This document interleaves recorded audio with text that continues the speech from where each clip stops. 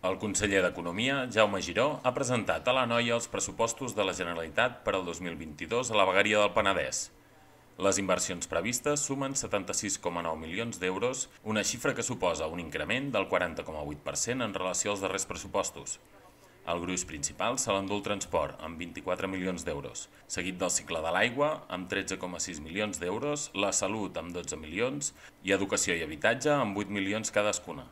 Per comarques, la Noia és la que s'endú la partida més important amb 32,78 milions d'euros, seguit de l'Alt Penedès amb 20,33, el Garraf amb 13,35 i el Baix Penedès amb 10,42 milions d'euros. I us he de confessar una sensació molt personal que he tingut durant la preparació d'aquest projecte de llei. És una sensació agradolça. D'una banda, tinc la satisfacció d'haver vestit uns pressupostos dels quals sincerament, crec que tot el govern ens podem sentir orgullosos. Tenim al davant uns bons pressupostos. Però d'altra banda, he pogut constatar també que les necessitats del país i de cadascun dels territoris que el conformen, alguns d'ells especialment representats a la vegueria del Penedès, les necessitats ultrapassen amb escreix els recursos de què disposem des que disposem, però no des que generem. Si una part important de la riquesa que generem com, com a país no s'evaporés cada dia davant dels nostres ulls, aquests pressupostos serien molt millors. A la Noia, la partida més important se l'emporten les millores a les línies de ferrocarril amb gairebé 13 milions d'euros que contemplen la compra de material ferroviari i actuacions en túnels i senyalitzacions.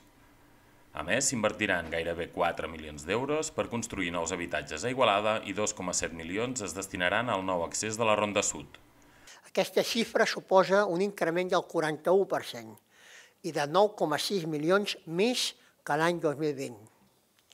Com he dit abans, es preveuen 13,1 milions en inversions en la xarxa de ferrocarrils i 2,7 milions en el nou accés a Igualada Sud, des de la carretera C37.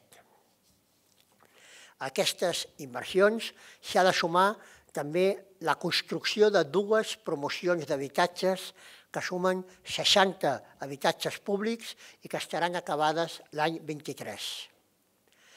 També vull destacar les inversions de 2,6 milions a l'Hospital d'Igualada i la inversió en manteniment de carreteres per valor de 1,5 milions.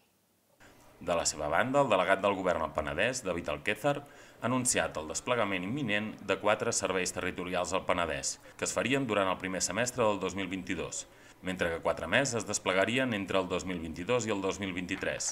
Aquesta és una petició reiterada dels alcaldes del territori. Els pressupostos 2022 són la garantia que ens permetrà avançar cap al progrés econòmic i social de la demarcació i del país, uns pressupostos expansius en despesa ordinària i en inversió. Uns pressupostos que refermen el compromís de servei públic de la Generalitat de Catalunya, més Mossos d'Esquadra, més bombers, més agents rurals, més pressupost per salut i educació, més polítiques d'ocupació, avançant cap a un model de gestió que veu el país amb totes les seves singularitats territorials, amb una visió de país sencer, L'alcalde d'Igualada, Marc Castells, ha reclamat al conseller Giró que s'acceleri aquest desplegament, pendent des de fa 3 anys. Per tant, és un esforç extraordinari que volem agrair a la Generalitat de Catalunya, que la vegueria del Penedès també, que actuem de manera unitària, hi ha una comarca com el Baix Penedès que se sent maltractada i eh, en el Garraf també, i jo penso que eh, hauríem de ser capaços de visibilitzar que la Generalitat està a costat de totes les comarques de la nostra vegueria. Ho faig jo com a alcalde d'Igualada, que no ho hauria de fer, però ho faig per solidaritat i per estimació també en el territori. La presentació dels pressupostos s'ha fet aquest dimarts al restaurant Escòrpia.